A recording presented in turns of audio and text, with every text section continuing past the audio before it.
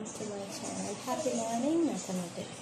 So as we are heading into our quarter, we will be learning chapter 19 which is algebraic expressions and substitutions. So in grade 6 second term you might have already learned about algebraic symbols but anyway I am going to summarize that up as well in order to understand this lesson better. So, under this lesson, we will be learning about three important things. First one is algebraic symbols.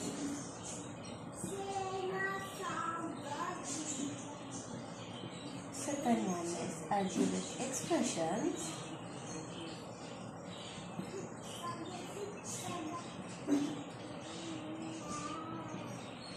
And the last one is substitutions.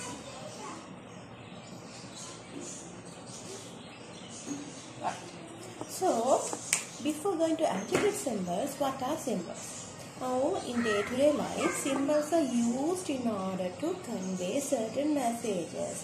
For example, let's say if you go on your road, you might be able to see lots of signs, posts, conveying um, various messages to the people. For example, there is a pedestrian crossing, they might use a symbol for that, a sign for that. Likewise, plus and minus are two arithmetic symbols. Am I right? Plus denotes you add something and this minus denotes you subtract something. So these are signs, symbols to convey certain message. Likewise, algebraic symbols are used in order to illustrate an unknown number. That means I'll give you an example for that. Now this is a non-transparent bag in here. I have kept few blocks inside this bag. Now you all don't know the number of blocks inside this bag.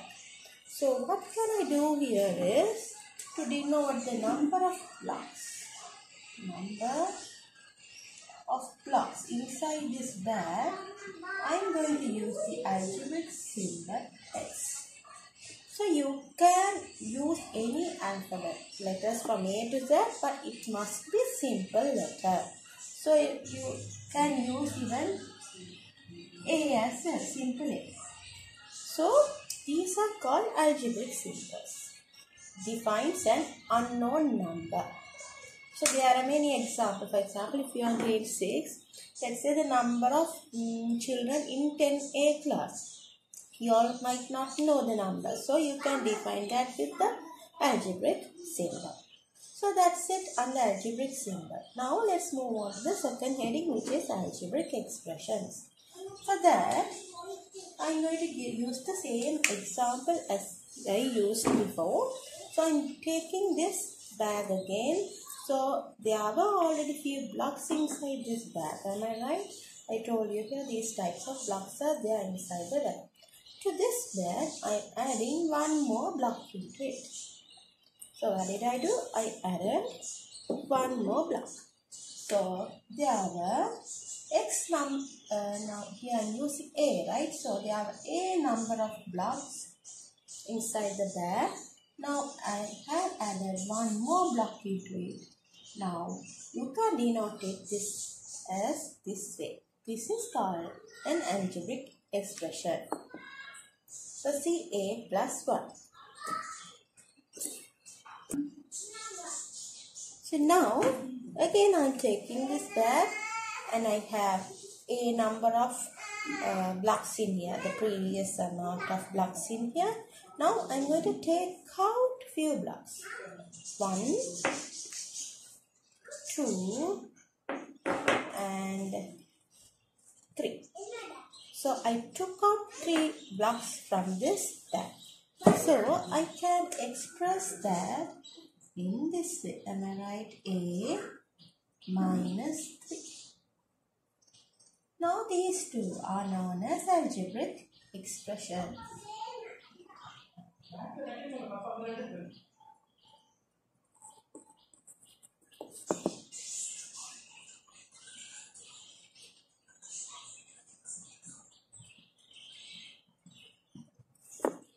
Did you all understand it? So, with any algebraic symbol, If a mathematical operation takes place, addition, it can be subtraction or anything, that is known as algebraic expressions. Now, let's move on to the third part. So, next is substitutions. Now, I am going to take the same bag in here with the previous amount of blocks and I am going to count the number of blocks inside the bag.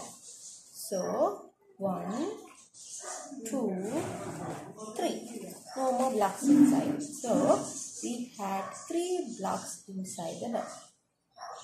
So now, A takes the value of 3. Am I right? Yeah, earlier it was unknown, now we counted. Now A gets the value of 3. Now we can substitute that among these two expressions. So let's substitute the value. A is equals to 3. Let's substitute it in the first algebraic expression A plus 1. So A becomes 3 plus 1. The answer is 4. Let's do the same thing in the second. A minus 3. A gets the value of 3 minus 3. The answer is 0. See now when you get to know the value of an algebraic symbol, you will in an expression you will be able to find a arithmetic value to that expression. So that's all under this lesson, chapter 19. So we learn about symbols, algebraic symbols, about algebraic expressions as well as substitution. Hope you all did understand the lesson. Now you will be able to do the exercises from the lesson 19.1 and 19.2. So if you have any doubts in from that exercises, you can ask me in the comment section. Have a nice day children. Bye.